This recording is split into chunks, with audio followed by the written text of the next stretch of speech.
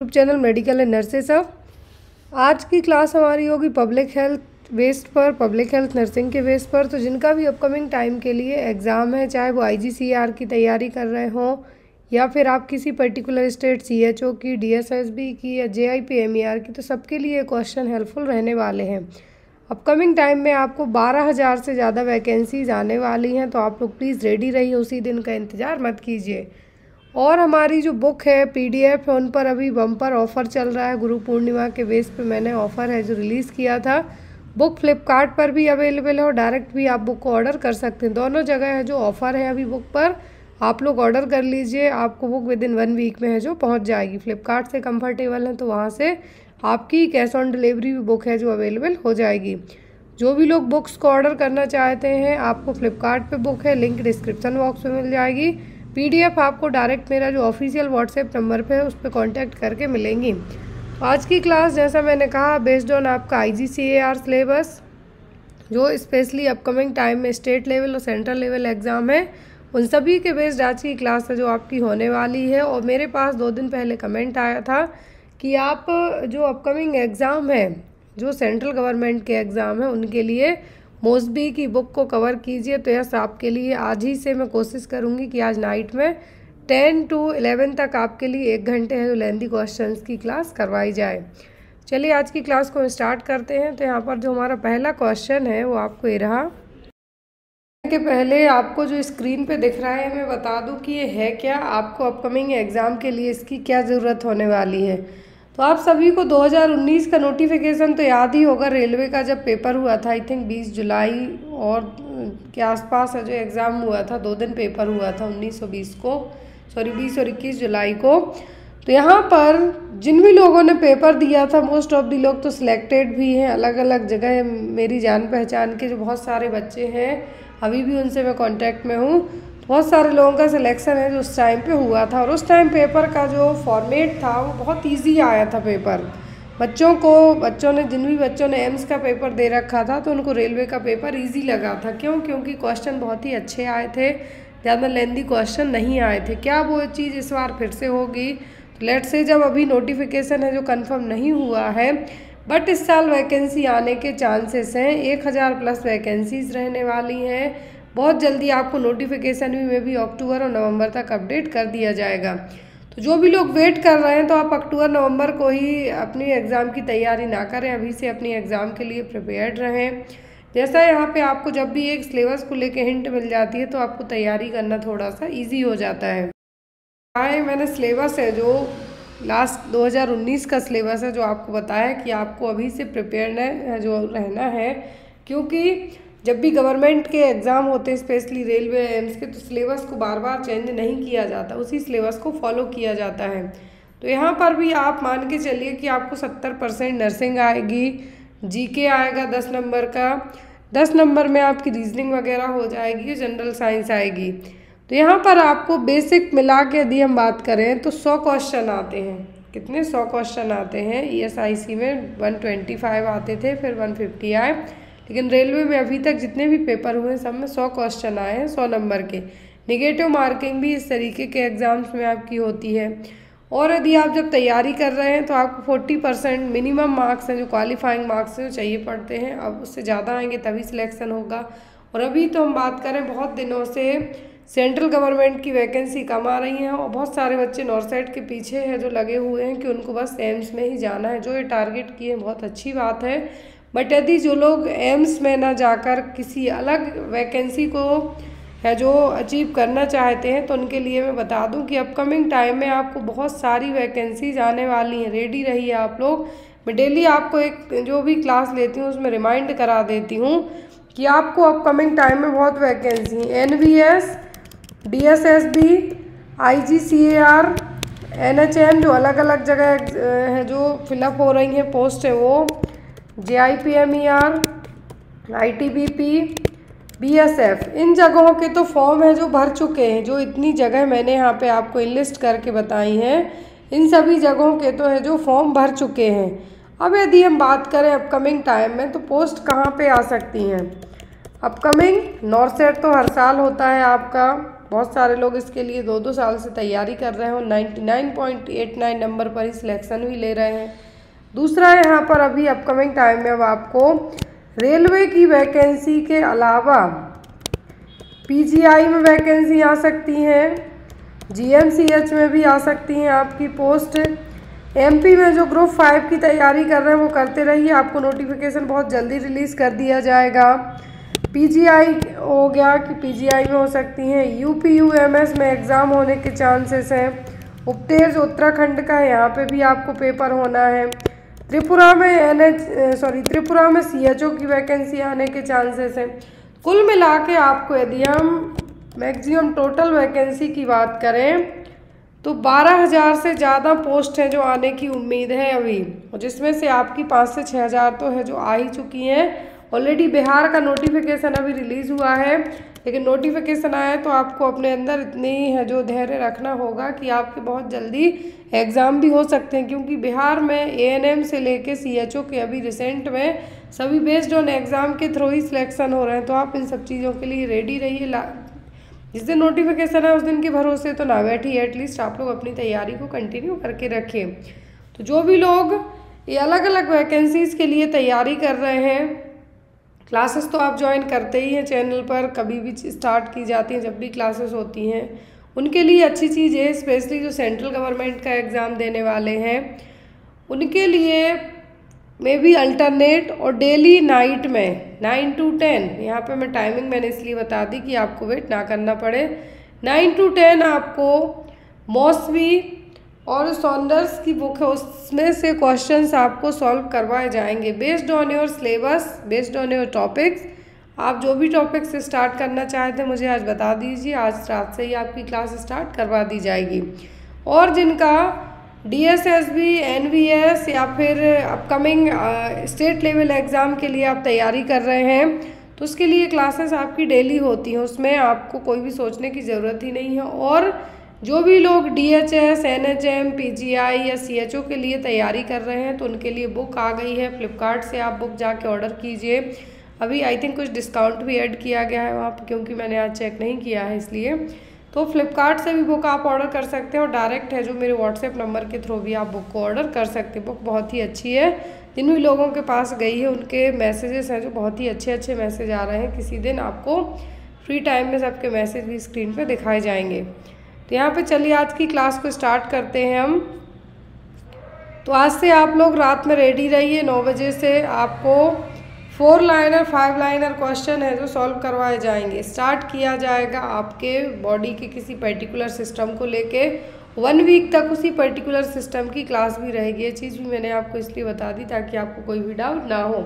जो भी क्लास होगी, जो भी किसी पर्टिकुलर सिस्टम को बॉडी के लेके क्लास होगी मान लीजिए हम डाइजेस्टिव सिस्टम को पढ़ेंगे तो डाइजेस्टिव सिस्टम की एनाटमी फिजियोलॉजी और उसकी डिसीजेस को है जो क्या करेंगे? कवर करेंगे। तो इस तरीके से जो क्लासेस स्टार्ट की जाएँगी। आज रात से नौ से दस आपकी एक घंटे की क्लास रहेगी। मौसवी मौसवी की बुक प्रेफर की जाएगी, इसमें सौंदर्स की होगी लिपिन कॉट की बुक होगी। तो इन बुक्स का प्रेफरेंस है जो यहाँ पे लिया जाएगा। तो जो भी लोग बुक पीडीएफ या कुछ भी स्टडी से रिलेट करते क्वेश्चंस पूछना चाहते हैं तो आप बेझिझक होके पूछ सकते हैं। बहुत सारे टॉपिक्स यहाँ पे कवर हो जाते हैं। तो यहाँ पे यदि गायनिक की क्लास है तो हम गायनिक भी पढ़ेंगे बट जो मैंने पहला क्वेश्चन ऐड किया है अभी हाल फ़िलहाल में आया हुआ है नर्सिंग एग्ज़ाम में, इसलिए। तो यहाँ पे जो पहला क्वेश्चन ऐड किया है, वो क्या है? What is the population of rural India as per two thousand eleven census 2011 में जो जनगणना हुई थी, उसके बाद अभी तक तो जनगणना नहीं हुई है। S R S R S data से काम चल रहा है।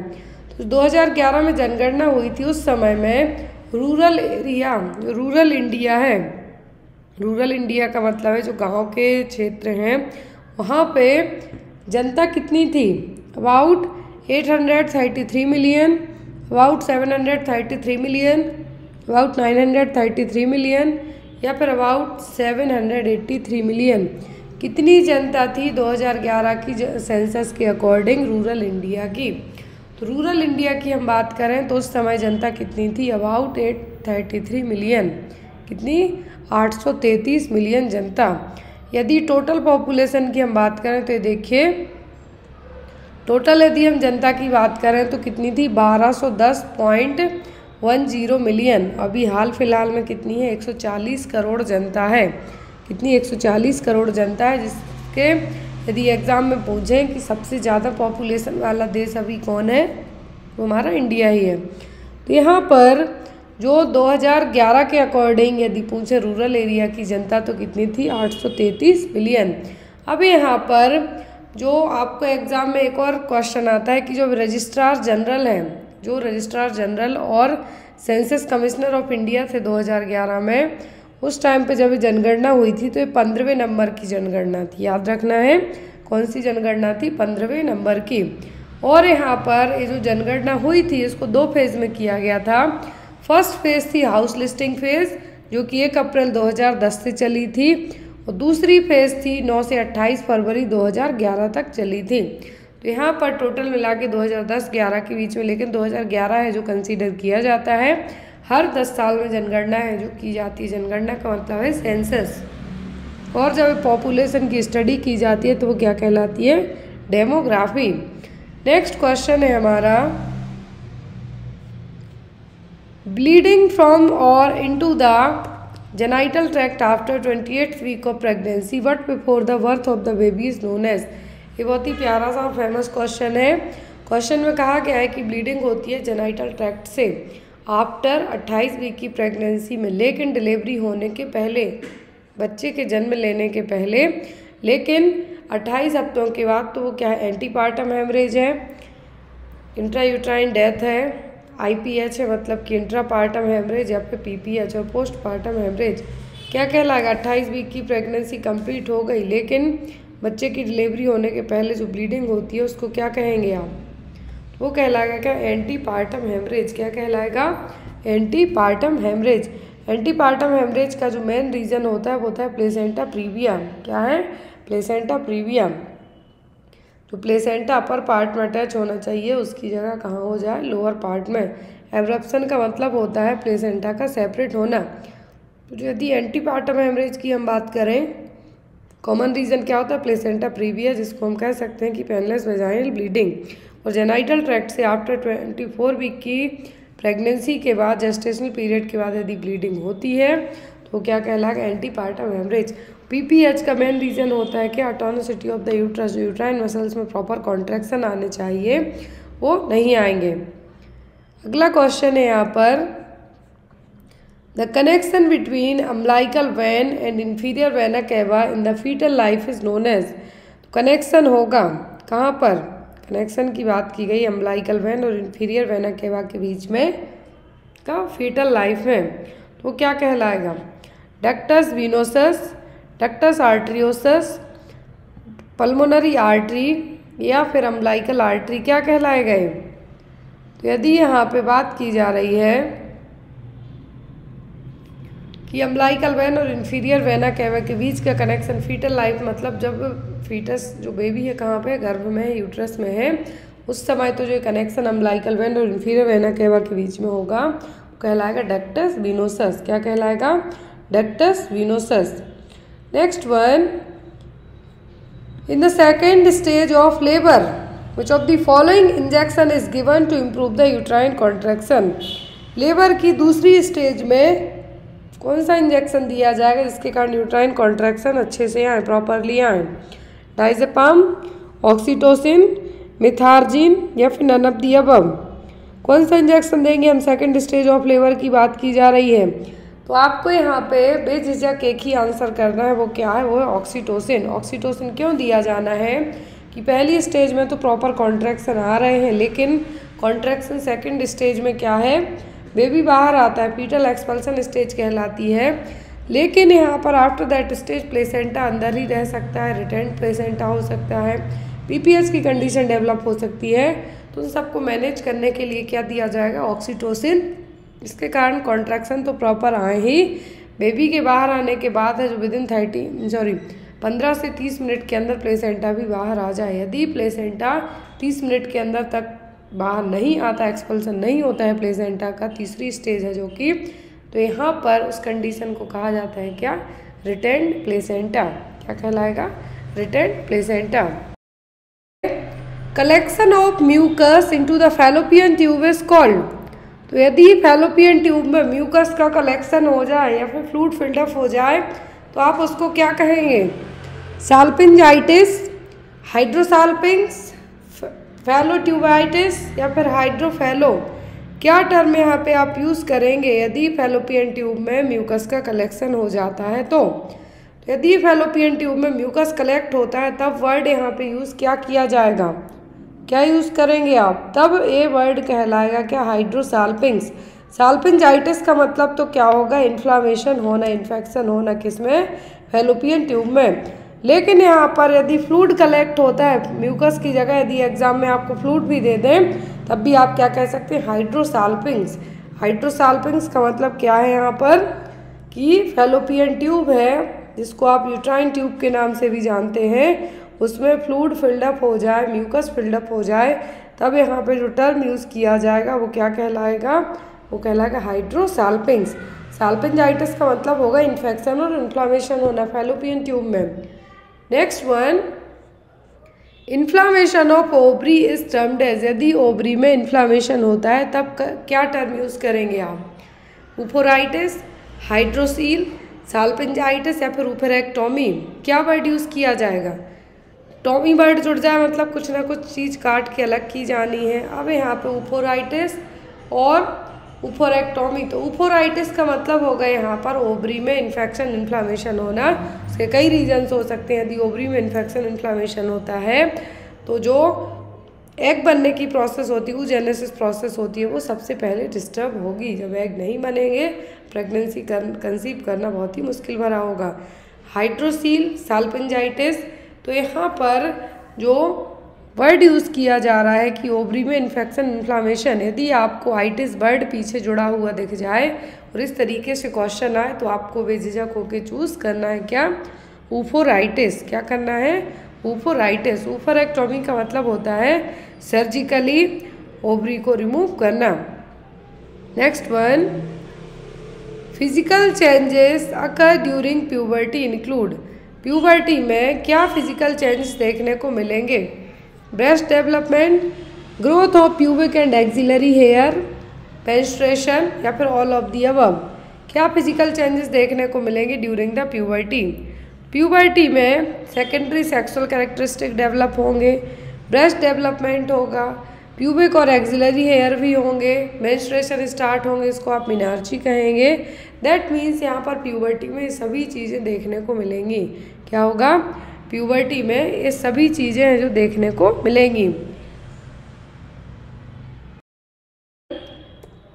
The source of H C G is the H C G जो कि हार्मोन है, या तो ये प्रेगनेंसी में होगा, या फिर कुछ कार्सिनोजेनिक स्टेज डेवलपमेंट होगी, तब होगा।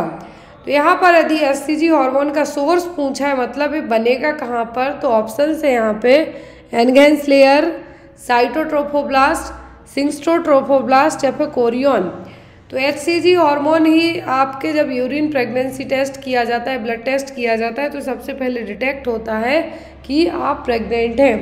दूसरी चीज़ यहाँ पर एस को जो बनाने वाली सेल्स हैं, वो कौन सी हैं? वो syncytiotrophoblast cells as early as ये सबसे पहले डिटेक्ट तो ब्लड में होता है, लेकिन यदि घर पे जो लोग टेस्ट करते हैं तो वो यूपीटी करते हैं यूरिन प्रेगनेंसी टेस्ट के थ्रू पता करते हैं।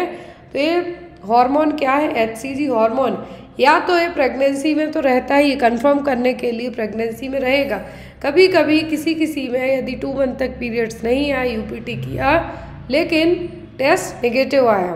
Maybe six week ten weeks तक हो जाते हैं टेस्ट नेगेटिव आया, तब ब्लड टेस्ट करके कंफर्म किया जाता है। ऐसा होता है इसलिए कि यूरिन में एचसीजी का लेवल है जो कम रहता है, इसलिए रेयर केसेस में होता है generally one and half month तक है जो मोस्ट ऑफ़ दी केसेस में फाइंड आउट हो जाएगा। तो एच को जो बनाने वाली सेल्स हैं वो क्या है? वो है सिंटोट्रोफोब्लास्ट सेल्स क्या है? सिंटोट्रोफोब्लास्ट सेल्स नेक्स्ट क्वेश्चन है यहाँ पे। Which hormones play an important role in significant proliferation of fat around the breast तो कौन सा हार्मोन है जो एक अपना रोल प्ले करेगा? कि जो ब्रेस्ट के चारों तरफ़ फैट का डिपोजिशन हो रहा है, उसके लिए oestrogen progesterone F S H या फिर टेस्टोस्टेरॉन यहाँ पे आपको ऑप्शन दिए हुए हैं। आप लोग भी बताइए कि जो ब्रेस्ट के चारों तरफ़ फीमेल्स में फैट डेवलप होता है प्रोलिफरेट होगा फैट उसका रीज़न कौन सा हार्मोन हो सकता है? तो यहाँ पर जो हार्मोन रिस्पॉन्सिबल होगा फैट डिपोजिशन के लिए ब्रेस्ट के चारों तरफ़ वो कौन सा होगा? वो कहलाएगा एस्ट्रोजन हार्मोन जिसको, इस हार्मोन को फीमेल का जो रिप्रोडक्टिव जो यहाँ पर सेक्स हार्मोन के नाम से भी आप इसको जान सकते हैं। जैसे मेल का होता है टेस्टोस्टेरॉन वैसे ही फीमेल में क्या होगा? एस्ट्रोजन हार्मोन तो यहाँ पर आपको याद रखना है कि एक यही हार्मोन है जो सेकेंडरी सेक्सुअल कैरेक्टरिस्टिक्स से लेके प्रेगनेंसी कंसीव करने के लिए हर एक तरीके से अपना इम्पोर्टेंट रोल प्ले करेगा। इसको फीमेल सेक्स हार्मोन के नाम से भी जाना जाता है। Next one starting a menstrual cycle before the age of ten year generally जो पीरियड्स स्टार्ट होते हैं मेंस्ट्रुअल साइकिल स्टार्ट होती है आफ्टर थर्टीन ईयर्स के बाद होती है, तेरह साल की उम्र के बाद। लेकिन यदि ये तेरह साल के सॉरी दस साल के पहले ही आ जाए, तब इसको क्या टर्म यूज़ करेंगे? पोस्ट कॉसियस प्रिकॉसियस एमनोरिया या फिर डिसमेनोरिया एमनोरिया का तो मतलब होता है कि एबसेंस रहना पीरियड्स का। डिसमेनोरिया का मतलब होता है पेनफुल पीरियड्स अब यहाँ पर प्रीकॉसियस और पोस्ट कॉसियस यहाँ पर बिफोर पूछा है मतलब प्री की बात की जा रही है। बिफोर टेन ईयर के यदि पीरियड्स आना स्टार्ट हो जाते हैं गर्ल्स चाइल्ड में, तब टर्म यूज़ करेंगे हम क्या? प्री कॉसियस क्या है? प्री कॉसियस है जो टर्म यहाँ पे यूज़ किया जाएगा। क्लियर है? और ये मोस्ट ऑफ़ दी केसेस में जो मेन रीज़न है अभी नावाडेज पहले सब इस तरीके की कंडीशंस कम डेवलप होती थी बट नावाडेज हम रिसेंट में बात करें तो most of the girls child में तो पोस्ट कॉसियस की कंडीशन हो सकती है प्री कॉसियस की इसलिए क्योंकि जो खान पान है रहन सहन है, उसका असर इन सब चीज़ों पे भी पड़ता है। अगला क्वेश्चन है यहाँ पर endocrinological changes occur during menopause include except menopause में मतलब पीरियड्स परमानेंटली स्टॉप होते हैं उस टाइम पर एंडोक्राइनोलॉजिकल मतलब हार्मोनल चेंजेस देखने को मिलेंगे सभी किसी एक को छोड़कर। Fall in serum oestradiol level fall in F S H level increase in luteinising level या फिर इंक्रीज लेवल ऑफ़ एंड्रोजन तो मेनोपॉज में सभी चेंजेस देखने को मिलेंगे किसी एक को छोड़कर। सीरम एस्ट्रॉइडल लेवल का लेवल बढ़ेगा सॉरी कम होगा। कम होगा। इसीलिए जो ऑस्टियोपोरोसिस की कंडीशन भी होती है, जो मेनोपॉजल वुमेन है, उनको ज़्यादा होती है। एफएसएच का लेवल क्या होगा? ए बढ़ेगा, घटेगा नहीं। इंक्रीज होगा एलएच भी लेवल ऑफ़ एंड्रोजन भी बढ़ेगा। लेकिन यहाँ पे कहा एक्सेप्ट तो होगा fall in FSH level F S H का लेवल है जो, क्या होगा? गिरेगा नहीं डिक्रीज नहीं होगा, क्या होगा? बढ़ेगा। तो यहाँ पे आपका आंसर क्या होगा? B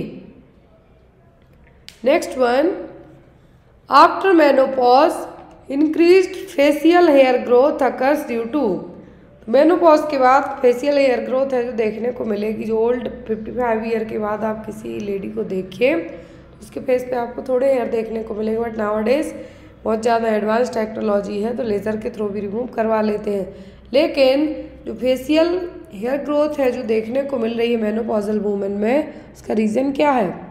Fall in F S H level increase in L H level decrease oestrogen androgen ratio या फिर डिक्रीज एंड्रोजन लेवल क्या देखने को मिलेगा?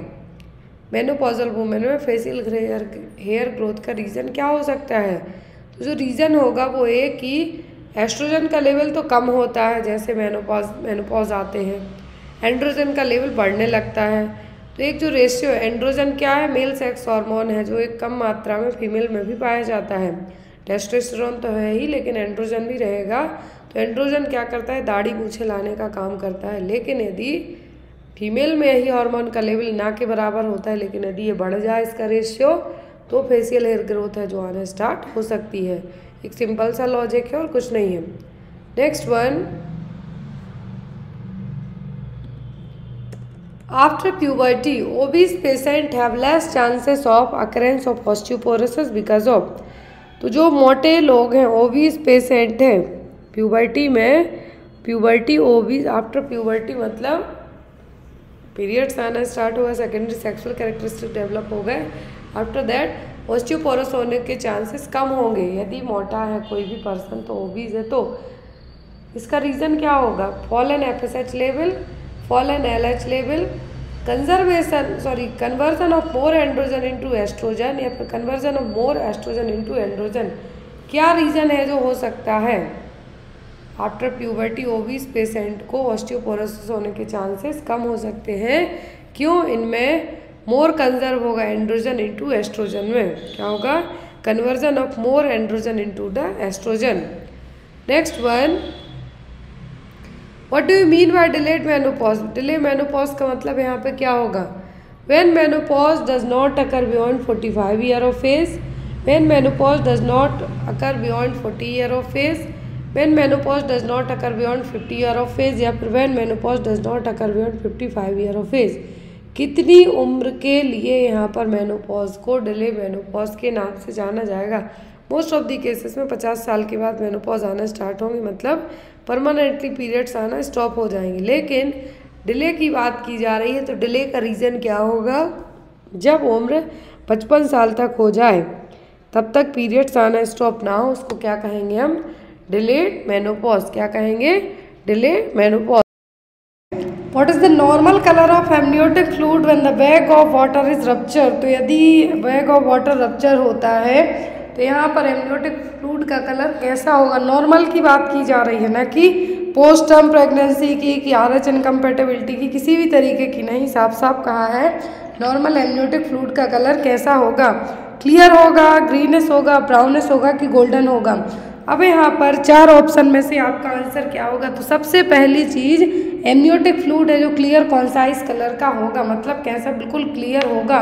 इसमें यदि ग्रीनिश कलर है ब्राउनिश कलर है दैट मीन्स कुछ ना कुछ एबनॉर्मलिटीज़ तो डेवलप हुई हैं, ज़रूर हुई हैं। तो यदि नॉर्मल पूछे तब आप क्या कहेंगे कि ये क्या है क्लियर है। लेकिन एमनियोटिक फ्लूड में कलर के कारण कुछ एबनॉर्मलिटीज़ की बात आती है ग्रीन कलर का होता है। यदि एमनियोटिक फ्लूड ग्रीन कलर का है दैट मीन्स क्या है? मेकोनियम स्टैंड बेबी का जो फ़र्स्ट पासिंग स्टूल है, वो उसमें आ गया तो ग्रीन हो गया। गोल्डन है मतलब माँ को आर एच इनकम्पेटेबिलिटी है। ऐसे केस में एज सुन एज बच्चा डिलीवर होता है और कॉर्ड क्लैम्प कट की जाती है अर्ली कॉर्ड क्लैम्पिंग की जाती है कि माँ की जो एंटीबॉडी है वो बच्चे में ट्रांसफ़र ना हो पाए।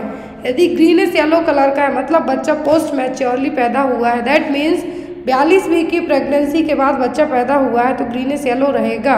जैसे जैसे थर्टी फाइव वीक की प्रेगनेंसी के बाद, जैसे जैसे वीक्स बढ़ते जाएँगे, वैसे वैसे एमनियोटिक फ्लूड का कम है जो लेवल है, कम होते जाएगा, जिसको हम ए एफ़ आई इंडेक्स कहेंगे एमनियोटिक फ्लूड इंडेक्स कहेंगे जैसे जैसे प्रेगनेंसी 35 वीक के आगे जाएगी ए एफ़ आई इंडेक्स कम होते जाएगा और हाइड्रोमियस होने के चांसेस बढ़ जाएँगे। पोस्ट मैच्योर प्रेगनेंसी में हाइड्रोमियस होने के चांसेस ज़्यादा रहेंगे। और यहाँ पर यदि डार्क रेड कलर का आता है एमनियोटिक फ्लूड दैट मीन्स कुछ ना कुछ एक्सीडेंटल ब्लीडिंग हुई है हेमरेज हुआ है। यदि टोबैको जूसी ऐसा तबाकू का जो कलर होता है ब्राउनिश टाइप का रहेगा amniotic fluid that means baby जो फीटस है, उसकी डेथ यूट्रस में ही हो चुकी है. इंट्रा यूट्राइन डेथ बेबी की जो डेथ है, वो कहाँ हो गई यूट्रस में ही हो गई है. तब एमनियोटिक फ्लूड का कलर ब्राउन रहेगा. और इन केस इन केस आप बहुत सारे केसेस सुनते हैं कि यदि माँ के यूट्रस में ही बच्चे की डेथ हो जाती है और यदि जो बच्चा डेथ हुआ है, उसको within twenty four hour के बाहर नहीं निकाला जाता है तो माँ को इन्फेक्शन फैलना स्टार्ट हो जाता है। माँ को सेप्टिसीमिया होने के चांसेस बहुत ही ज़्यादा बढ़ जाते हैं। Next is inflammation of the fallopian tube is तो फेलोपियन ट्यूब का इन्फ्लामेशन क्या कहलाएगा? ऑप्शन में है यहाँ पर साल्पेंजाइटिस एंड्रोमेट्राइटिस सर्विसाइटिस या प्रोवेजाइनाइटिस तो यहाँ पर जो फेलोपियन ट्यूब जिसको आप यूटराइन ट्यूब के नाम से भी जानते हैं तो एक इसके इन्फेक्शन और इन्फ्लामेशन को आप क्या कहेंगे? साल्पिन जाइटिस, क्या कहेंगे? साल्पिन जाइटिस तो यहाँ पर आपका आंसर होगा salpingitis.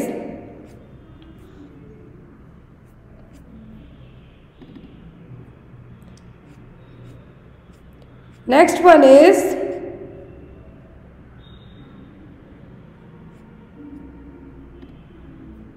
which stage of puerperium period is called remote stage ये क्वेश्चन हमने कुछ दिन पहले भी पढ़ा था कि परपीरियम पीरियड में रिमोट स्टेज कौन सी कहलाएगी? Within twenty four hour after the child birth early up to seven days या फिर अप टू सिक्स वीक या फिर नन दी अब परपीरियम पीरियड में रिमोट स्टेज कौन सी कहलाएगी? तो रिमोट स्टेज कहलाती है अप टू सिक्स वीक तक की। कितनी? सिक्स वीक तक की। अब यहाँ पर स्टेज होती है परपीरियम पीरियड की। परपीरियम पीरियड की तीन स्टेज होती हैं। इमीडिएट परपीरियम मतलब पहले 24 घंटे the first 24 four hour after parturition baby की डिलीवरी होने की प्रोसेस क्या कहलाएगी? बर्थ जो बेजाइनल बर्थ है या फिर जन्म देने की जो प्रक्रिया है, वो कहलाती है पार्चुरेशन तो यहाँ पर 24 आवर जो फ़र्स्ट 24 आवर है, ये कहलाएगा पार्चुरेशन के बाद का immediate puerperium period early puerperium होगा फ़र्स्ट वीक का, कौन सा? फ़र्स्ट वीक का। रिमोट परपीरियम होगा जब तक जो सिक्स वीक का पूरा ड्यूरेशन दिया जाता है परपीरियम पीरियड को तो वो कहलाएगा पोस्टमार्टम पीरियड और puerperium period remote puerperium period जो कि अप टू सिक्स वीक तक का रहेगा, जिसमें माँ के जो जेनाइटल ऑर्गन से वापस से रिवर्ट बैक नहीं हो जाते हैं, वो time period next one is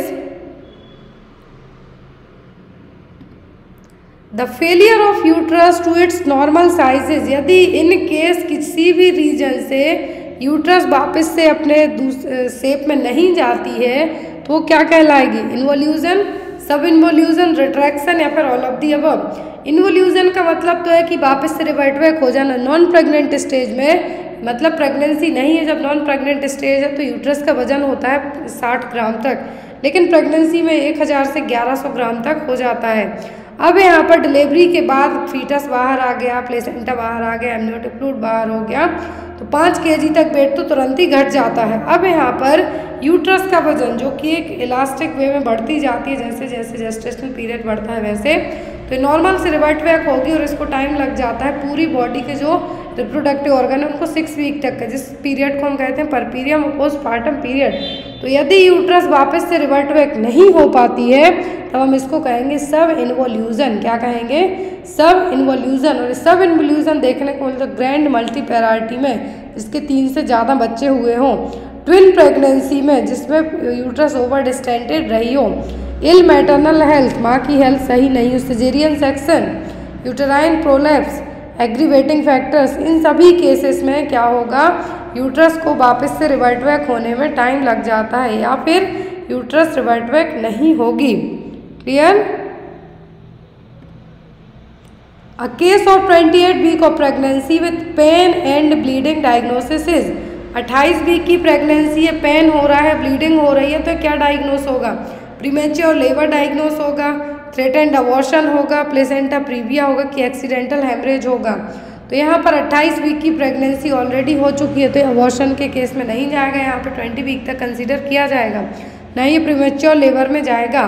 तो यहाँ पर ये जो 28 वीक की प्रेगनेंसी है, दर्द के साथ ब्लीडिंग होती है तो ये कहलाएगा आपका एक्सीडेंटल हेमरेज क्या कहलाएगा? एक्सीडेंटल हेमरेज प्लेसेंटा प्रीविया आप इसको कह सकते हैं, लेकिन जब ये painless bleeding painless vaginal bleeding होती मतलब ब्लीडिंग तो होती, लेकिन दर्द नहीं होता, पता ही नहीं चलता, दर्द नहीं होता।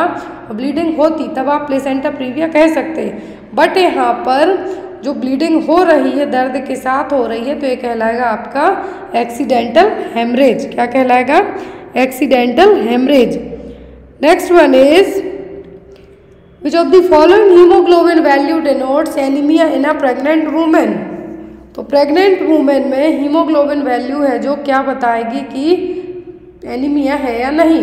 Haemoglobin level 11 percent H B twelve percent H B nine percent या फिर एच बी थर्टीन परसेंट तो हीमोग्लोबिन का लेवल प्रेग्नेंट वूमेन में 9 परसेंट से कम जाता है। दैट मीन्स लेडीज़ को क्या हुआ है? प्रेग्नेंट वूमेन को एनीमिया हुआ है।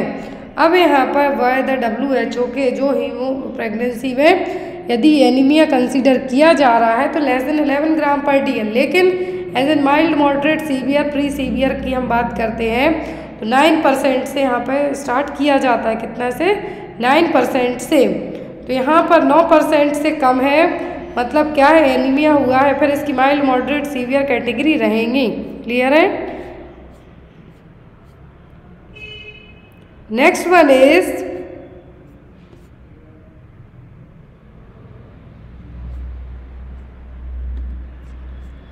good attachment sign of breast feeding are all except good attachment sign सभी ब्रेस्ट फीडिंग के किसी एक को छोड़कर baby's mouth widely open lower lip turn inward baby's chin touch the breast F majority of areola is inside baby's mouth good attachment sign की बात हो रही है, जब बच्चा ब्रेस्ट फ़ीड करता है तो सभी गुड अटैचमेंट साइन है किसी एक को छोड़कर। तो बेबी का जो माउथ है वाइडली ओपन रहेगा लोअर लिप बाहर की तरफ़ होंगे, ना कि अंदर की तरफ़। बेबी का चिन्ह माँ के ब्रेस्ट को टच करेगा और जो एरियोलो का मोस्टली पार्ट है, वो बेबी के माउथ में रहेगा। तो गुड अटैचमेंट साइन होंगे। लेकिन यहाँ पर जो एक ऑप्शन है, वो है lower lip turn inward generally outward बाहर की तरफ़ होगा। Chin formally touch the breast और यहाँ पर जो बच्चा है, अपनी माँ को आई कांटेक्ट भी करने की कोशिश करेगा। तो ये सभी क्या है? गुड अटैचमेंट साइन है। किसके? ब्रेस्ट फीडिंग के गुड अटैचमेंट साइन है यहाँ पर। Next is fertilization of two different ovum release in same cycle is known as दो डिफरेंट ओवम का एक ही साइकिल में रिलीज़ होना क्या कहलाएगा? सुपरफिटेशन सुपरफिकंडेशन फीटस अकार्डियाकस या फिर फीटस पेपरिकस। तो यहाँ पर जो यदि फर्टिलाइजेशन हो रहा है दो डिफरेंट ओवम का लेकिन एक ही सेम साइकिल में एक ही बार के पी, जो पीरियड्स आते हैं उसमें दो ओवम दो अलग अलग ओवम एक ही बार रिलीज़ होते हैं और उनका फर्टिलाइजेशन हो जाता है। तो ये क्या कहलाएगा? ये कहलाएगा आपका सुपर फीकंडेशन क्या कहलाएगा? सुपर फीकंडेशन दूसरा होता है सुपर फिटेशन में। मतलब दो डिफरेंट साइकिल में फर्टिलाइजेशन होगा। Fertilization of two ovum in a different cycle लेकिन यदि fertilization of two ovum in a same cycle तो वो होगा सुपर फिकंडेशन सुपर फिटेशन में होगा दो ओवम का, दो अलग अलग डिफरेंट साइकिल में फर्टिलाइजेशन यदि सुपर फिटेशन की बात करें तो यहाँ पर एक जो फीटस है, उसकी जो जेस्टेशनल एज होगी, वो होगी अट्ठाईस वीक तो यदि दूसरी साइकिल में फर्टिलाइजेशन हुआ है तो उसमें चार वीक वो और बाद का रहेगा। तो इस तरीके से एक होगा चौंतीस वीक या फिर चौबीस वीक मान लो या फिर अट्ठाईस वीक कुछ भी मान लो, चार वीक का गैप आप देके इसको समझ सकते हैं।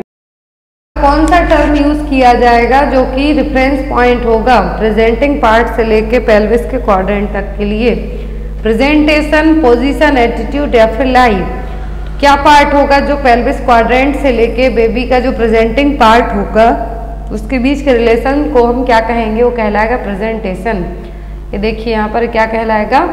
प्रेजेंटेशन जो नॉर्मल प्रेजेंटेशन होता है, वो कैसा होता है? सिफेलिक प्रेजेंटेशन बर्टिक्स प्रेजेंटेशन अब यदि कॉमन लाई पूछते हैं तो लाई क्या है? Long axis of the foetus to the long axis of the mother pelvis तो क्या है? लाई जनरली तीन टाइप की होती लॉन्गिट्यूडनल जो कि नॉर्मल है है ट्रांसवर्स जिसमें multi parity placental praevia hydramnios और यूट्राइन एनोमलीज में दे होगा। ऑब्लिक में बेबी कैसा होगा सीधा? जो ऑब्लिक लाई होगी, उसमें बेबी या तो लॉन्गिट्यूडनल हो सकता है फिर ट्रांसवर्स हो सकता है।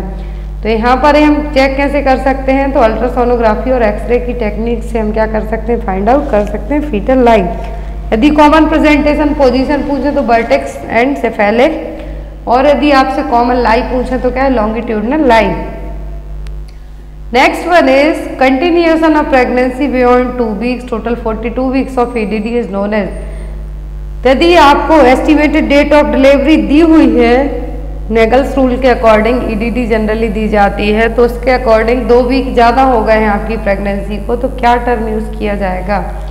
प्रीटर्म पोस्टर्म प्रेसिपिटेट या फिर स्मॉल फॉर डेट तो यहाँ पर जो प्रेगनेंसी दो वीक और ज़्यादा हो गए हों 42 वीक्स से भी ज़्यादा की हो गई हो तो वो क्या कहलाएगी? वो कहलाएगी पोस्ट टर्म प्रेगनेंसी क्या कहलाएगी? Post term pregnancy full term pregnancy generally nine month और अड़तीस वीक की जनरली इसको 37 वीक है जो कंसीडर किया जाता है।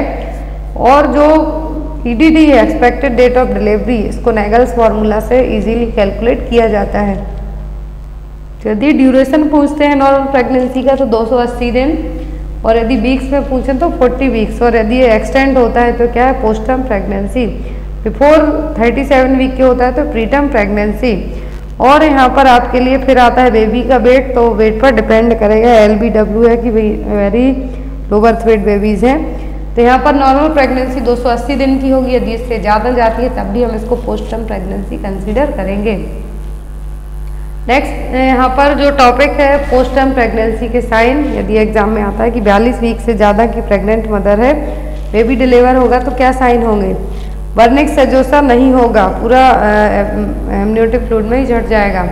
प्लेसेंटल कैल्सिफिकेशन देखने को नहीं मिलेगा। स्केंटी सेफ्रॉन कलर्ड मेकोनियम होगा और ओलिगोहाइड्रोनियस होगा, क्योंकि बेबी क्या हो गया postterm over grown nails nails आपको बड़े हुए देखने को मिलेंगे। Wrinkled skin of newborn, skin fold thickness देखने को नहीं मिलेंगे ज़्यादा। तो यहाँ पर आपका जो आंसर था वो क्या आया था? पोस्ट टर्म प्रेगनेंसी, जब प्रेगनेंसी 42 वीक से ज़्यादा की हो जाती है। प्रेसिपिटेट लेबर जब कंसीडर किया जाता है चाइल्ड बर्थ के टाइम पर इसको हम रैपिड लेबर भी कहेंगे, जो कि फ़र्स्ट और second stage less than two hour की हो जाती हैं। तो यहाँ पर आपका जो आंसर आएगा, यदि प्रेसिपिटेट पूछें तो इसमें तीन स्टेज होती हैं सॉरी चार स्टेज होती हैं तो फ़र्स्ट और second stage less than two hour की हो जाती है तो हम इसको क्या कहेंगे? Precipitate labour in which stage of labour episiotomy is performed तो एपिजियोटोमी और पेरिनियोटोमी किस स्टेज में की जाती है? तो जब बेबी का हेड क्या हो? क्राउनिंग हो जाए, उस टाइम पर क्या किया जाता है? एपिजियोटोमी की जाती है तो कौन सी स्टेज होगी? फ़र्स्ट सेकेंड थर्ड फोर्थ तो जो स्टेज होगी, वो कौन सी होगी? वो होगी सेकेंड स्टेज ऑफ़ लेबर जिस टाइम पर एपिजियोटोमी और पेरिनियोटोमी की जाती है। जनरली एक कट लगाया जाता है आपका वेजाइना और एनस के बीच में। Next one is all of the sign and symptom of PPH except postpartum haemorrhage के सभी साइन है, किसी एक को छोड़कर। Decrease BP increase BP increase heart rate एपन controlled bleeding सभी साइन है, किसी एक को छोड़कर। तो जो पीपीएच की सिचुएशन है, इसमें आपका ब्लड प्रेशर नहीं बढ़ेगा, बल्कि क्या होगा? कम होगा।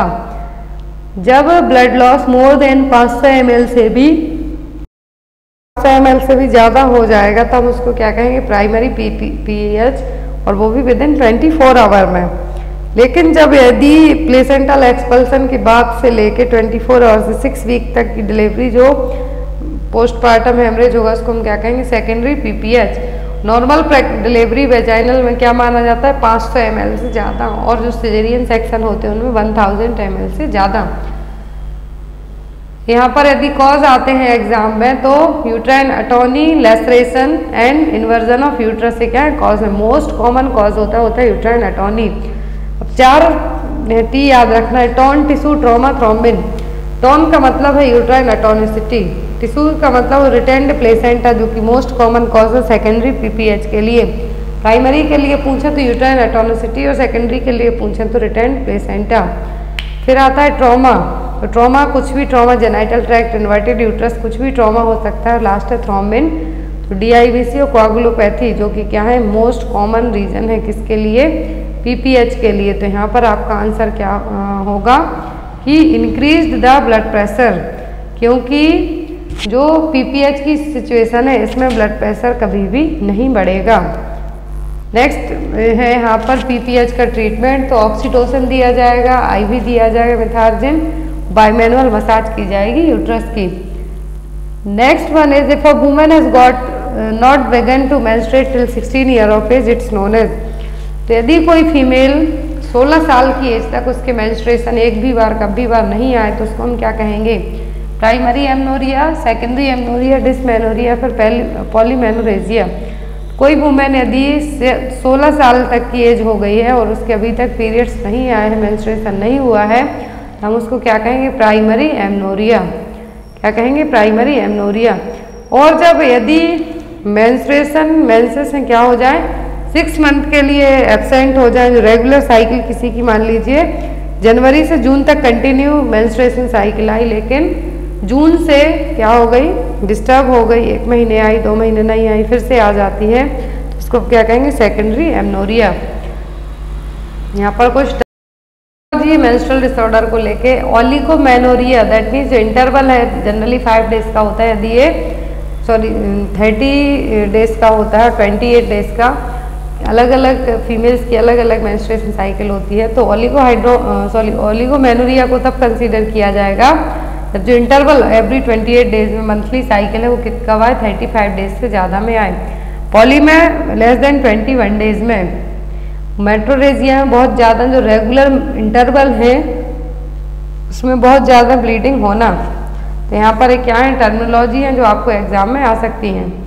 नेक्स्ट है यहाँ पर, when uterine contraction occurring after 20 week of gestational and before 37 completed week of gestation it's known as यदि कॉन्ट्रैक्शन है यूट्राइन कॉन्ट्रैक्शन 20 वीक की प्रेगनेंसी के बाद जेस्टेशनल पीरियड के बाद, लेकिन सैंतीस कंप्लीटेड वीक के पहले आते हैं तो हम उसको क्या कहेंगे? Preterm labour precipitate labour postterm pregnancy या फिर ननबदी अबम क्या टर्मिनोलॉजी यूज़ की जाएगी कि प्रेगनेंसी कितनी है? 20 वीक का जेस्टेशनल पीरियड है, लेकिन सैंतीस वीक कंप्लीट नहीं हुए हैं। तो टर्मिनोलॉजी यूज़ होगी, वो क्या कहलाएगी? प्री टर्म लेबर क्या कहलाएगी? सैंतीस कंप्लीट वीक नहीं हुए हैं 20 वीक के बाद है 23 वीक के बाद है बट बिफोर 37 कंप्लीटेड वीक तो क्या कहलाएगा? Preterm labour preterm labour term pregnancy कब कहलाती है? जब उनतालीस से 40 वीक का बेबी हो। Early term 37 to 39 weeks late term late pre term होंगे जो बेबीज 34 से लेस देन 37 वीक के पहले ही डिलीवर हो गए हों। वेरी प्री टर्म जो कि 28 से 32 वीक के पहले हो गए हों, जो 28 वीक के पहले ही डिलीवर हो गए उनको क्या कहते हैं हम? Extremely pre birth babies next one is which kind of medication is use to postpone preterm labour कौन सी मेडिसिन दे के हम जो प्री टर्म लेबर जो डिलीवरी 37 वीक के पहले ही यदि लेबर पेन होने लगता है लेबर पेन आते हैं तो हम प्री टर्म लेबर को क्या कर सकते हैं? पोस्टपोन कर सकते हैं थोड़ा सा डिले कर सकते हैं। तो कौन सी मेडिसिन होगी? ऑप्शन में tocolytic oxytocin both and we या फिर नन ऑफ़ दी तो जो पोस्ट पोस्टपोन प्रीटर्म लेबर को हम करेंगे, वो कौन से मेडिसिन होंगे? टोकोलाइटिक एजेंट ये क्या करते हैं? जो मसल्स कॉन्ट्रैक्शन उसको क्या करते हैं? इनहिबिट करने का काम करते हैं। तो टोकोलाइटिक्स एजेंट को क्या किया जाता है? प्रेगनेंसी जो प्री टर्म प्रेगनेंसी उनको पोस्ट टर्म बनाने के लिए यूज़ किया जाएगा। फिर थोड़ा सा डिले करने के लिए यूज़ किया जाएगा। Next one is bubbler assessment is use in which priority of pregnancy तो bubbler assessment period of pregnancy में क्यों यूज़ किया जाता है? एंटीनेटल इंट्रानेटल पोस्टनेटल या फिर नन ऑफ़ दी एबव तो बबलर असेसमेंट किया जाता है कब? प्रेगनेंसी के पीरियड में तो इसका मतलब क्या है? तो वो post natal assessment breast uterus bowels bladder lochia episiotomy ये सभी चीज़ें किसमें चेक की जाती हैं? बबलर असेसमेंट में. तो यहाँ पर आपका आंसर क्या होगा? पोस्ट नेटल प्रेगनेंसी में after the delivery postmortem period में ब्रेस्ट चेक किए जाएँगे यूट्रस बॉवल्स ब्लैडर लोचिया और एपिजियोटोमी उसी सेक्शन हुआ है तो वो चेक है जो किया जाएगा, जिसको हम क्या कहते हैं? बबलर असेसमेंट जो कि किसके लिए हेल्पफुल है? पोस्टर्म प्रेगनेंसी के लिए सॉरी पोस्टनेटल पीरियड के लिए। Next one is delay cord clamping is contraindicated in तो डिले कॉर्ड क्लैंपिंग किस केस में कॉन्ट्राइंडिकेट रहेगी? ऑप्शन में baby born to anaemic mother R H incompatibility baby birth weight more than 2.8 G तो जो यहाँ पर क्लैंपिंग है डिले कॉर्ड क्लैंपिंग है, इसके क्या कॉन्ट्रा इंडिकेशन होंगे? तो होगा आर एच इनकम्पेटिबिलिटी यदि हमने as soon as possible R H incompatibility या फिर कॉर्ड को कट नहीं किया डिले किया, क्या होने के चांसेस होंगे आर एच इनकम्पेटिबिलिटी क्योंकि जो मदर की एंटीबॉडी है, वो फीटस में ट्रांसफ़र हो जाएँगी तो उसको प्रिवेंट करने के लिए क्या किया जाता है? मदर की जो एंटीबॉडी है बेबी में लेबर ना हो पाए तो उसके लिए यहाँ पर क्या माना जाता है? डिले कॉर्ड कटिंग को क्लेम को है जो कॉन्ट्राइंडिकेट माना जाता है। कॉन्ट्राइंडिकेट का मतलब है कि डिले माना जाता है। ऐसे केस में हमें अर्ली कॉर्ड क्लैंपिंग करना है जिससे मदर की एंटीबॉडी बेबी में ट्रांसफ़र ना हो पाए। One is it is defined as the time from the uh, delivery of the placenta through the first few weeks after the delivery. कौन सा टाइम पीरियड है जिसमें डिले प्लेसेंटा की डिलीवरी के बाद के लेके कुछ हफ़्ते तक कहलाएँगे? परपीरियम एंटीनेटल पीरियड लोचिया फिर पैरेक्सिया क्या टर्म यहाँ पर यूज़ किया जाएगा? तो वो गए यहाँ पर puerperium. Six week after birth of the baby छः हफ़्ते होते हैं बेबी डिलीवर होने के बाद के उसको हम क्या कहते हैं? परपीरियम पीरियड अब परपीरियम पैरेक्सिया का मतलब है कि फीवर आ जाएगा। कॉज कुछ भी हो सकता है यूटीआई हो सकता है पल्मोनरी इन्फेक्शन हो सकता है सेप्टिक पेल्विक थ्रोमस फ्लेवाइटिस कुछ भी रीजन है जो इन्फेक्शन के लिए हो सकता है। तो इसको हम क्या कहेंगे? Puerperal pyrexia next one is let down reflex is also known as let down reflex का दूसरा नाम क्या है? सकिंग मिल्क इजेक्शन रूटलिंग या फिर मिल्क सीक्रेटिंग रिफ्लेक्स तो जो यहाँ पर आपका राइट right आंसर होगा, वो क्या होगा? वो होगा milk ejection reflex let down reflex को हम क्या कहते हैं? Milk ejection reflex milk ejection reflex का प्रोडक्शन कौन करता है? Oxytocin hormone next one is how much amount of elemental iron content by one tablet of ferrous turmeric radiate pelvis Naegele's pelvis किस तरीके की पेल्विस है? नेगल्स पेल्विस में one sacral one sacral ala है जो क्या रहेगा? मिसिंग रहेगा इस तरीके से। जनरली जो पेल्विस होती है नॉर्मल पेल्विस यदि हम बात करें तो होती है गायनेकॉइड गायनेकॉइड शेप की जो कि नॉर्मल एक टर्म प्रेगनेंसी के लिए ज़रूरी होती है। लेकिन यहाँ पर नेगल्स पेल्विस क्या है? कॉन्ट्रैक्ट कंजेनाइटल और जो क्या है? कॉन्ट्रैक्टेड पेल्विस का एक डिफॉर्मिटी भी हम इसको कह सकते हैं। जो या तो कंजेनाइटल है मतलब at the time of birth के टाइम पे भी हो सकती है, या फिर कुछ जॉइंट्स में प्रॉब्लम के कारण हो सकती है। तो ये एक रेयर केस में रहेगा, जहाँ पर एक अलाय है जो मिसिंग रहेगा। क्या होगा? एक अलाय है जो मिसिंग रहेगा। रॉबर्ट पेल्विस, यहाँ पर देखिए, रॉबर्ट पेल्विस रही। Ala of both side are absent and sacrum is fuse to the innominate bones तो यहाँ पर दोनों अलाय क्या है? एबसेंट रहेंगे इसमें, रॉबर्ट पेल्विस में। काइफोटिक में स्पाइन की डिफॉर्मिटी के कारण देखने को मिलेगी किसमें स्पाइनल कॉर्ड की डिफॉर्मिटी के कारण एक आइफोटिक देखने को मिलेगी। तो रॉबर्ट आ सकता है। रॉबर्ट में दोनों एबसेंट हैं, दोनों सेक्रम के जो अलाय है वो एबसेंट हैं। जो नेगल से में एक साइड का एबसेंट है। इसमें वन अलय है जो है सैक्रम का, वो एबसेंट है। रॉबर्ट में दोनों साइड के हैं। काइफोटिक में आपका जो स्पाइन डिफॉर्मिटी के कारण है, उसके कारण होने वाली प्रॉब्लम होगी। Next is as per the Gomez classification which of the following weight per age comes under third degree malnutrition when compared with the Harvard growth standard chart जब आप हार्वर्ड ग्रोथ स्टैंडर्ड चार्ट से consider करेंगे Gomez classification को, जिसमें third degree माल nutrition को किस category में रखा जाएगा? वेट पर एज जो गोम्स क्लासिफिकेशन है अकॉर्डिंग टू दैट जो माल न्यूट्रिशन है, उसको वेट पर एज के कंसीडर किया जाएगा कि एज के हिसाब से वेट कितना है। तो ऑप्शन है पचहत्तर से नब्बे percent of the standard sixty to seventy four percent of the standard ninety to one hundred percent of the standard less than sixty percent of the standard तो गोम्स क्लासिफिकेशन के according third degree malnutrition consider किया जाता है। जब 60 percent से भी कम हो wait per as as के हिसाब से जो वेट है 60 परसेंट से भी कम हो, तब इसको थर्ड डिग्री माल न्यूट्रिशन में हम कंसीडर करेंगे। यहाँ पर जब बच्चे का वज़न ओवर 90 परसेंट हो वेट फॉर एज क्या हो 90 परसेंट हो तो नॉर्मल 76 टू 90 परसेंट हो माइल्ड मतलब फ़र्स्ट डिग्री में आएगा। इकसठ से पचहत्तर परसेंट होगा तो मॉडरेट में जिसको हम सेकेंड डिग्री कहेंगे, जब साठ परसेंट से भी कम में आएगा, जिसको हम सीवियर माल न्यूट्रिशन और थर्ड डिग्री माल न्यूट्रिशन कहेंगे तो क्या है? अकॉर्डिंग टू गोम्स के, गोम्स का जो क्लासिफिकेशन है माल न्यूट्रिशन का, वो है वेट फॉर एज। एज के हिसाब से कितना आपका वज़न है, उसके लिए जिसमें तीन कैटेगरी होती हैं first second third degree protein energy malnutrition next one है यहाँ पे आपका question ducts open into Bartholin gland आपने पढ़ी है तो अब यहाँ पर बर्थोलिन डक्ट है जो कहाँ पे ओपन होंगी?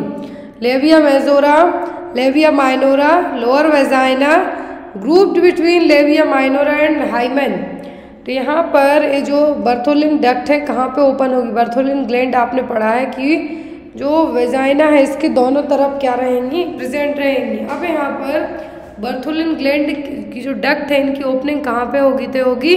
लेविया माइनोर एंड हाइमन के बीच में। यहाँ पर ये देखिए, ये रही बर्थोलिन ग्लैंड डक्ट्स तो ये क्या करेंगी? लुब्रिकेशन के लिए हेल्प करेंगी। म्यूकस सीक्रेट करेंगी, जो कि वेजाइनल लुब्रिकेशन में हेल्प करेगा।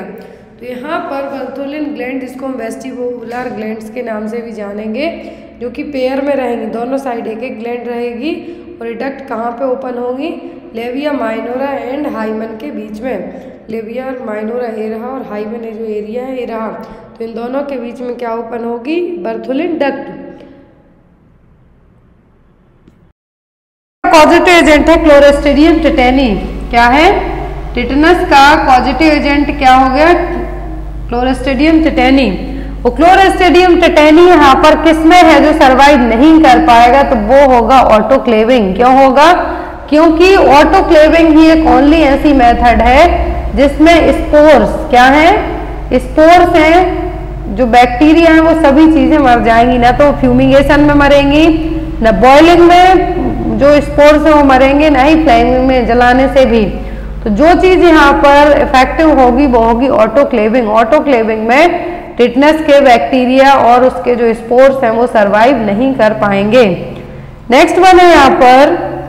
In stage cervical cancer spread at bladder and rectum level तो सर्वाइकल कैंसर में कौन सा लेवल होगा? जब कैंसर ब्लैडर और रेक्टम तक स्प्रेड आउट हो जाएगा, फैल जाएगा। थर्ड बी फोर्थ है सेकेंड है या फिर फोर्थ बी तो कौन सी स्टेज होगी जिसमें कैंसर सर्वाइकल कैंसर है यदि किसी को तो वो ब्लैडर और रेक्टम को भी फैल जाएगा अफेक्ट करेगा। तो वो होगा फोर्थ ए कौन सा होगा? फोर्थ ए अब यहाँ पर जब कैंसर देखिए सर्वाइकल कैंसर की जो स्टेज फोर्थ होती है, यहाँ पर कैंसर स्प्रेड आउट होना है जो स्टार्ट होगा। तो जब यहाँ पर एक कैंसर कहाँ पर होता है? रेक्टम और ब्लैडर में। तो ये क्या कहलाएगा? फोर्थ ए और जब यही कैंसर बॉन्स लंग्स और लिवर जो डिस्टेंट लोकेशन है दैट मीन्स दूर के पार्ट हैं, उनमें जाके फैलता है। कहा से? सर्विक्स से यदि रेक्टम ब्लैडर में आए तो फोर्थ है, लेकिन जब डिस्टेंट ऑर्गन दैट मीन्स जो बॉन्स हो गए लंग्स हो गए लिवर हो गए, यहाँ पर जाके फैलेगा स्प्रेड आउट होगा सर्वाइकल कैंसर तो ये कहलाएगा फोर्थ बी यदि आपको एग्ज़ाम में ब्लैडर और रेक्टम कहा है तो आपको कहना है फोर्थ ए यदि कहें यही कि बोन्स में हो गया लिवर में हो गया तब आपको क्या कहना है? Fourth B correct next one है यहाँ पर। If you are confirming the diagnosis of diabetes with capillary blood glucose level then the cut off value should be तो यदि आप डायबिटीज़ uh, क्या कर रहे हैं? कैपिलरी ब्लड ग्लूकोज लेवल से कंफर्म कर रहे हैं कट ऑफ़ वैल्यू कितनी आनी चाहिए? Fasting blood sugar less than 126 and post uh, ppbs more than 200 fbs more than 110 और ppbs 200 तो यहाँ पर आपका जो राइट आंसर होगा वो क्या होगा? Ppbs की वैल्यू बतानी है यहाँ पर और fbs की। तो क्या है जो आपका राइट आंसर होगा? यदि आप कैपिलरी ब्लड ग्लूकोज लेवल से क्या कर रहे हैं? फाइंड आउट कर रहे हैं कि पेशेंट को क्या है डायबिटीज़ है या नहीं। तो post prandial blood sugar value बतानी है और आपको फास्टिंग ब्लड शुगर वैल्यू बतानी है। तो जो यहाँ पर कंफर्मेटरी होगा, वो होगा आपका 126 फास्टिंग ब्लड शुगर लेवल और जो post prandial blood sugar level है, वो कितना होगा? मोर देन 220 तब कंफर्म होगा कि पर्सन को डायबिटीज़ है। Next one person whose weight is 80 kilogram and height is 156 centimeter BMI of person interrupted as exam में आपको इस तरीके के क्वेश्चन ज़रूर आएँगे कि बॉडी मास इंडेक्स निकालने के लिए आपको कहा जाएगा, यदि पर्सन का वेट कितना है 80 किलोग्राम है हाइट है, एक सौ छप्पन सेंटीमीटर तो बीएमआई का आपको फॉर्मूला लगाना है बॉडी मास इंडेक्स का तो यहाँ पर होता है weight in kilogram divided by height in metre square अब यहाँ पर हाइट दी हुई है आपको सेंटीमीटर में। तो आपको इस हाइट को क्या करना है? कन्वर्ट करना है सेंटीमीटर टू मीटर में, क्योंकि यहाँ पर हाइट आपको जो फॉर्मूला है इरा यहाँ पर फॉर्मूला जब आप यहाँ पर पर्सन का बीएमआई कैलकुलेट करके निकालेंगे तो कितना आएगा? हाइट मीटर स्क्वायर में निकालनी है वेट किलोग्राम में निकालना है पर्सन आएगा ओबिसिटी की कैटेगरी में, किसमें? ओबीस कैटेगरी में। यहाँ पर बीएमआई की जो नॉर्मल रेंज होती है वो हो, होती है 18.5 टू 24.9 यदि नॉर्मल बीएमआई की हम बात करते हैं तो ये होगी 18.5 टू 24.9 लेकिन यदि यही बीएमआई लेस देन 18.5 जाती है तब पेशेंट कहलाएगा कौन से उसमें? अंडर वेट में। किसमें कहलाएगा? अंडर वेट में।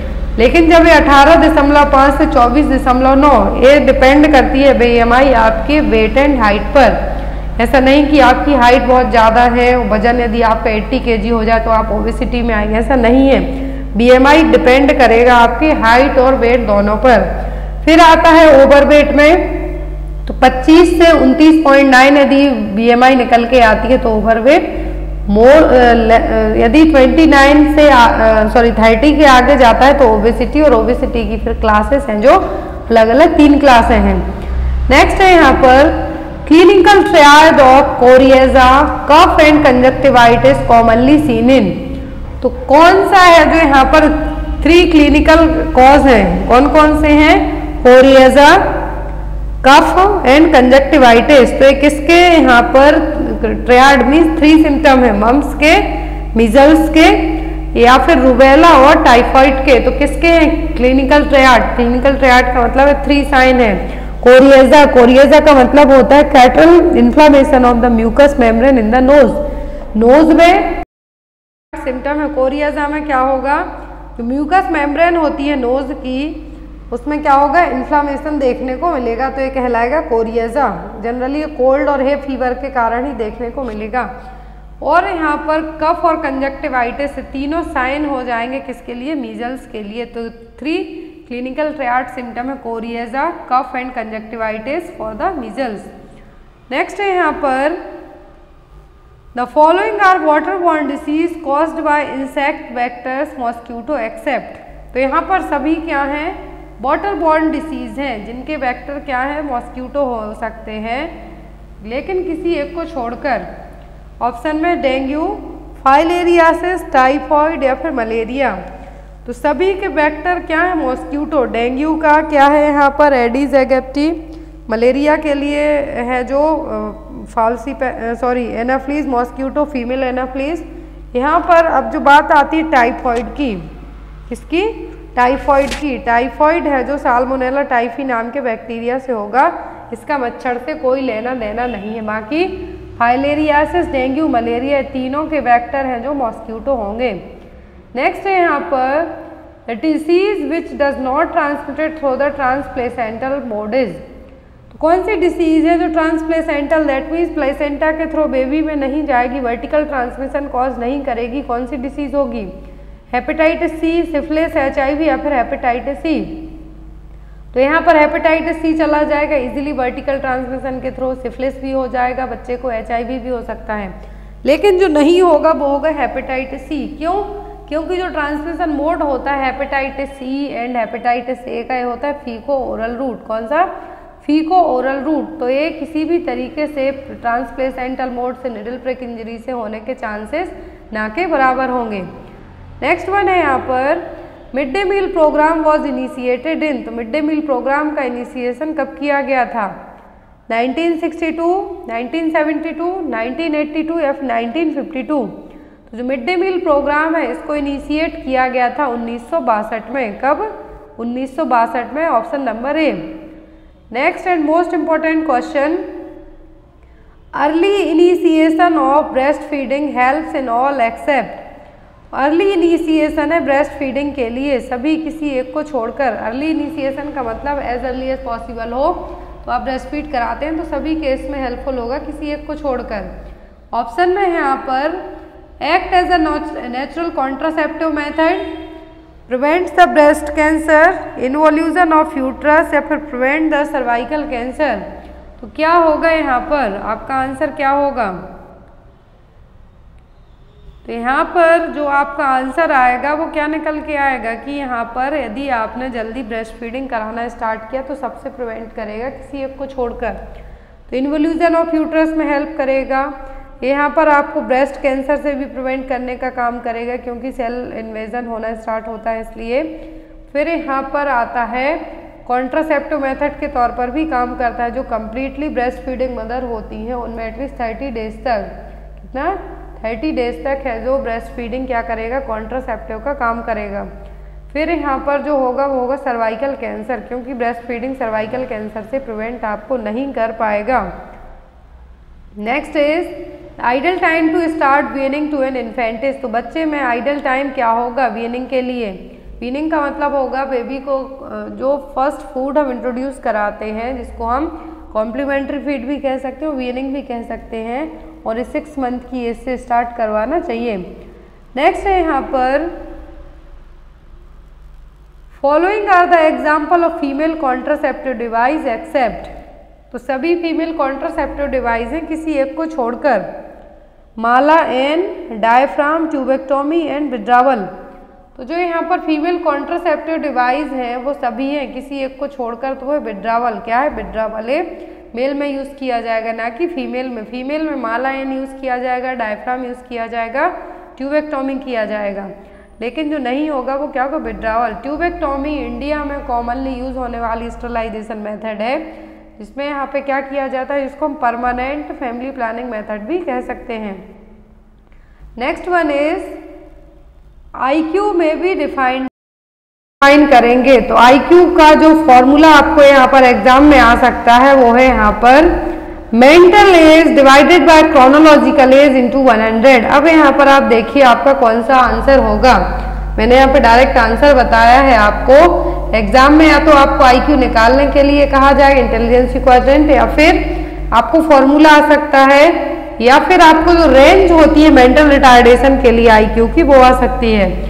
आईक्यू का फुल जो यहाँ पर डिफाइन करेंगे हम, वो होगा mental age divided by chronological age into 100 तो ये होगा यहाँ पर, क्या होगा आपका? आईक्यू अब यहाँ पर जो डेवलपमेंटल डिसेबिलिटी क्लासिफिकेशन होता है, किसके लिए? मेंटल रिटार्डेशन के लिए एग्ज़ाम में आपको हमेशा ही आता है। तो यहाँ पर आपको आईक्यू रेंज याद रखने की ज़रूरत होगी। जितना कम आईक्यू होता जाएगा पर्सन की कंडीशन उतनी ज़्यादा वस्ट होती जाएगी। तो माइल्ड होगा यदि तो 50 से 70 मॉडरेट होगा तो 35 से 50 सीवियर होगा तो 20 से 35 और प्रोफाउंड होगा तो 20 एंड बिलो जिसमें आपके लिए पेशेंट को एडमिट करने की ज़रूरत पड़ेगी सीवियर और प्रोफाउंड में। माइल्ड मॉडरेट में पेशेंट अपनी केयर थोड़ी बहुत कर सकता है। बट यदि एग्ज़ाम में आता है कि एडमिशन की ज़रूरत किस केस में पड़ेगी, जब पर्सन का आईक्यू लेवल बिलो 20 चला जाता है, तब नेक्स्ट वन है यहाँ पर, आपको आईक्यू लेवल है जो पूरा याद करके जाना है एग्ज़ाम में आपको आता है। नेक्स्ट है यहाँ पर six cranial nerve abducens controls the तो सिक्स छठवें नंबर की क्रेनियल नर्व है एब्ड्यूसेंस है इसका नाम तो क्या कंट्रोल करती है? Total twelve pair of cranial nerve होती हैं, उनके आपको पूरे नाम फ़ंक्शन कौन सी सेंसरी है, और कौन सी यहाँ पर मोटार है कौन सी मिक्सड है? तो यहाँ पर जो एब्ड्यूसेंस है, इसका काम क्या है? Movement of eye ball taste perception closure of epiglottis movement of the tongue तो छठवें नंबर की क्रेनियल नर्व काम करती है आई बॉल को मूव करने के लिए। कौन सी? आई बॉल को।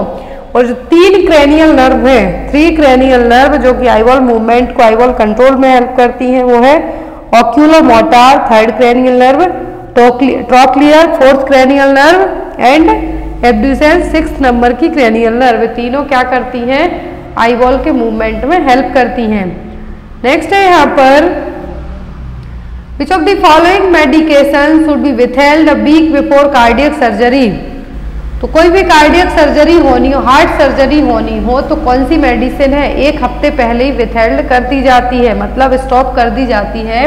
यदि आपकी सर्जरी है जो अभी से आठ दिन बाद होने वाली है तो इनमें से जो मेडिसिन आप ले रहे हैं तो किसको हम स्टॉप कर देंगे?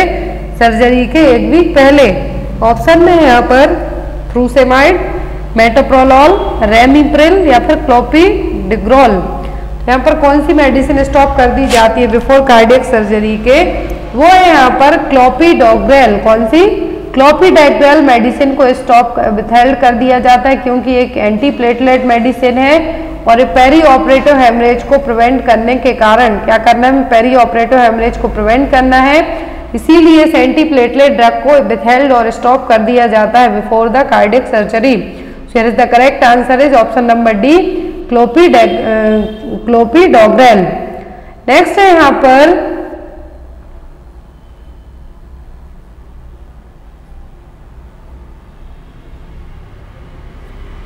which hormone is present in hormonal contraceptive pills तो यहाँ पर हम पूरे कॉन्ट्रासेप्टिव के बारे में पढ़ेंगे विद इन फाइव मिनट में। तो यहाँ पर जो क्वेश्चन है, कौन सा है? हार्मोनल कॉन्ट्रासेप्टिव पिल्स इनमें से कौन सी है? प्रोजेस्ट्रॉन रहेगा एस्ट्रोजन रहेगा बोथ एंड बी होंगे या फ्लूटनाइजिंग हार्मोन होगा। तो जितनी भी यहाँ पर जो हार्मोनल कॉन्ट्रासेप्टिव पिल्स होती हैं, उनमें प्रोजेस्ट्रॉन भी होगा और एस्ट्रोजन भी होगा। क्या होगा? प्रोजेस्ट्रॉन भी होगा और एस्ट्रोजन भी होगा। तो यहाँ पर जो कंबाइंड ओसीपी होती है जनरली कौन सी? कंबाइंड ओरल कॉन्ट्रासेप्टिव पिल्स होती हैं। उनमें एस्ट्रोजन प्रोजेस्ट्रॉन दोनों का लो डोज रहेगा। और जो कंबाइंड ओसीपी होती हैं ओव्यूलेशन प्रोसेस को ही इनहिबिट करेंगी सप्रेस करने का काम करेंगी। ना होगा ओव्यूलेशन ना यहाँ पर आपको कंसीव करने के चांस बढ़ेंगे। अब यहाँ पर एग्ज़ाम में आपको हार्मोन रिलीजिंग इंट्रायूट्राइन डिवाइस यदि आती हैं तो वो प्रोजेस्टासाइट जो कि टी सेप्ड डिवाइस होती है, यहाँ पर प्रोजेस्टासाइट है जो यहाँ पर नहीं दी हुई है तो यहाँ पर ये है यहाँ पर प्रोजेस्टा प्रोजेस्टासाइट ये क्या है? प्रोजेस्टा प्रोजेस्टासाइट है टी सेप डिवाइस है और ये क्या है? हार्मोन रिलीजिंग इंट्रायूट्राइन डिवाइस है। एलएनजी होगा यहाँ पर मेरेना जिसको हम कहेंगे तो यहाँ पर एलएनजी और मेरेना एलएनजी और मेरेना आपको इमेज आ सकती है एग्ज़ाम में तो ये किसकी इमेज है? मेरेना की, ये भी टी सेप्ड रिलीजिंग है, जो कि लेबोनोजेस्ट्रॉल को 20 एमसीजी लेबोनोजेस्ट्रॉल को रिलीज़ करेगी। यदि प्रोजेस्टासाइट की बात करें तो सेकंड नंबर की इमेज ऑप्शन नंबर जो बी दिख रहा है, यहाँ पर क्या है? प्रोजेस्टासाइट है। और एक पर डे टोटल इसमें 38 एम प्रोजेस्ट्रॉन रहेगा, लेकिन ये रिलीज़ करेगा यूट्रस में कितना? 65 mcg पर डे और इसका जो इफ़ेक्ट होगा वो क्या होगा? यूट्राइन लाइनिंग और सर्वाइकल म्यूकस के यहाँ पर इफ़ेक्ट करना।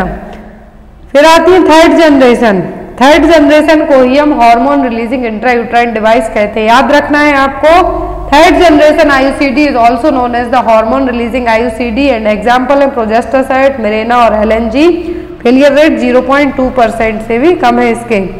फिर आती है यहाँ पर सेकेंड जनरेशन थर्ड पूछते हैं तो हार्मोन वाली याद रखना है। हार्मोन वाले में आपको क्या क्या आ जाएँगी? जितने भी हार्मोनल यहाँ पर मेथड होंगी। फिर आता है सेकेंड जनरेशन आईयूडी में तो सेकेंड में आएगा copper T 380 A copper T 200 B multiload और नोवाटी ये सब किसकी है? ये है यहाँ पर सेकेंड जनरेशन फिर यहाँ पर आता है जो फ़र्स्ट जनरेशन में तो फ़र्स्ट जनरेशन में जितनी नॉन मेडिकेटेड होंगी, जिनमें मेडिसिन नहीं होगी। लेकिन यहाँ पर लिपेज लूप स्पायरल कॉइल्स और बाव से सब क्या है? ये है यहाँ पर किस कौन से? ये फ़र्स्ट जनरेशन के। नेक्स्ट क्वेश्चन में यहाँ पे देखेंगे। आई होप आपको ये सभी आई हैं जो क्लियर हो गई हो। नेक्स्ट है यहाँ पर barrier methods are all except तो बैरियर मेथड सभी हैं किसी एक को छोड़कर। डायफ्राम कॉन्डोम लिपेज लूप या फिर वेजाइनल स्पंज तो यहाँ पर बैरियर का मतलब होगा मैकेनिकल या फिर क्या बैरियर का मतलब रोकने का काम करेंगे। डायफ्राम है यहाँ पर कॉन्डोम है वेजाइनल स्पॉन्ज है, सब क्या होगी? बैरियर मेथड होंगे। लिपेज लूप है फ़र्स्ट जनरेशन आईयूडी ये बैरियर मेथड नहीं है। नेक्स्ट है यहाँ पर copper T three eighty A IUD should be replaced once in तो copper T three eighty A IUD है जो कब रिमूव करवा सकते हैं? कितने टाइम में? दो साल में रिप्लेस कर सकते हैं? दस साल में? तीन साल में? फिर पाँच साल में? तो यहाँ पर इसका जो ड्यूरेशन ऑफ़ एफिकेंसी है मतलब कितने टाइम तक सही तरीके से काम करेगा तो वो होगा दस साल।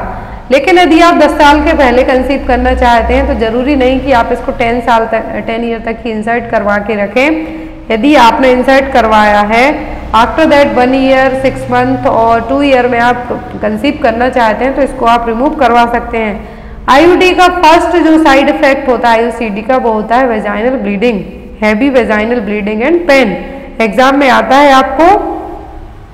नेक्स्ट वन है यहाँ पर, Mala N oral contraceptive pills differ from Mala D in terms of तो क्वेश्चन आपके सीएचओ के लिए भी बहुत ज़्यादा हेल्पफुल रहेंगे। तो Mala N oral contraceptive pills OCP है, माला डी से किस तरीके से डिफर है? तो दोनों में जो डोज होता है, कौन सा? जो नॉर्जेस्ट्रॉल का डोज होता है एस्ट्रॉयल डोज होता है, दोनों में सेम होता है। यहाँ पर सोल्ड अंडर सोशल मार्केटिंग ये भी होगा। सप्लाइड फ्री ऑफ़ कॉस्ट तो माला एन है, जो माला डी से इस तरीके से भिन्न है, क्योंकि ये फ्री ऑफ़ कॉस्ट अवेलेबल होती है। कैसी? फ्री ऑफ़ कॉस्ट है जो अवेलेबल रहेगी। माला एन लेकिन माला डी को आप मार्केट से भी परचेस कर सकते हैं। नेक्स्ट है यहाँ पर eligible couples are those couples age group of eligible का मतलब वो फर्टाइल कपल फर्टाइल का मतलब जो रिप्रोडक्टिव एज ग्रुप में है, जो लोग कंसीव कर सकते हैं। तो यहाँ पर फर्टाइल कपल और एलिजिबल कपल कौन से होंगे? तो फर्टाइल और एलिजिबल कपल माने जाते हैं 15 से 45 साल तक के। कौन से?